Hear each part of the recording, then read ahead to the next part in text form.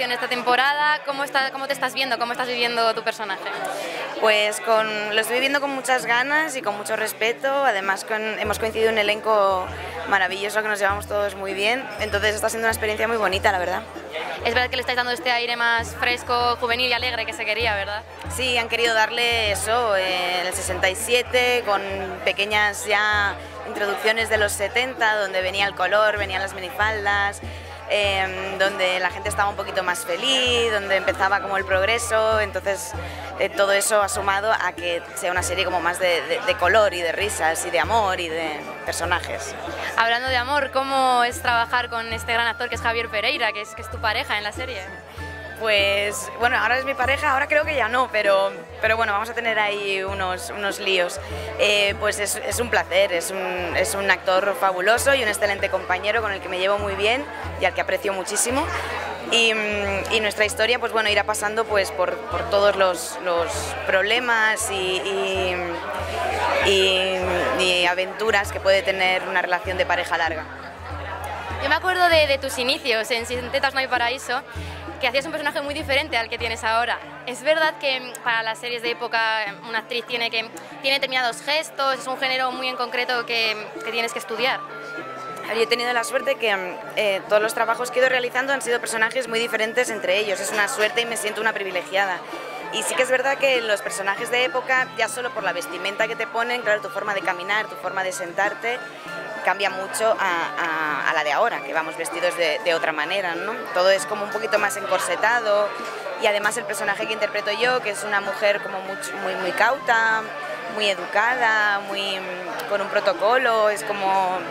Entonces sí, bueno, eso es algo que, alimenta al personaje y que, y que lo hace diferente al resto.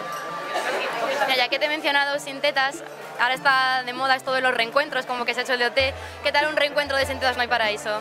¿Qué te parecería? Pues a mí me encantaría, la verdad. Pues sigo teniendo contacto con ellos, pero bueno, eso de ver a todo el elenco junto, pues sería muy chulo. Desde aquí un llamamiento. Ya la segunda vez que lo hago, a ver si la tercera. O sea que estás en contacto, tenéis también un grupo de WhatsApp. Sí, sí, sí, tenemos grupo de WhatsApp y los nos vamos viendo, vamos coincidiendo en eventos, en estrenos, sí, sí.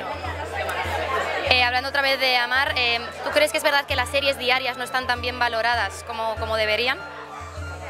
Pues yo no, no lo veo así, la verdad. Amar es una serie que, claro, es diaria, el ritmo es diferente, no se puede uno entretener, no puede tener a lo mejor la misma calidad interpretativa que otra serie que para una secuencia se tira dos horas, aquí para una secuencia tenemos 40 minutos. Pero aún así creo que, es una serie donde se respeta mucho el ensayo, eh, los pases de texto y donde justamente esta temporada todos tenemos una disposición muy buena, entonces Mm, todos tenemos muchas ganas de hacerlo bien. El equipo técnico, que ya lleva 12 años, nosotros, que es la incorporación nueva. Entonces, no, yo no creo que esté infravalorada. Me refería a los premios, que a veces se dice que las series diarias no ganan tantos premios como deberían. Pues, pues no lo sé, a lo mejor al, tener menos audiencia por ser una franja horaria diferente, pero yo tuve la oportunidad de estar la semana pasada en los premios Iris y habían muchas nominaciones a series diarias, ya no solo a serie y a guion, sino también actores. Entonces eso está muy bien. Está cambiando. Está cambiando, yo creo que sí. ¿Nos puedes contar algún, tienes algún proyectillo más entre manos aparte de la serie?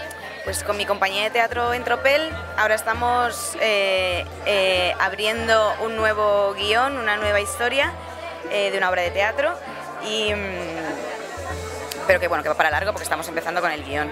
Además tenemos nuestro corto eh, time lapse en una distribuidora, ganamos el No Todo Film Fest y mm, ahora le hemos alargado, era de 30 segundos, le hemos alargado 50 y se está moviendo por los festivales. Pues muchas gracias y enhorabuena. Gracias. A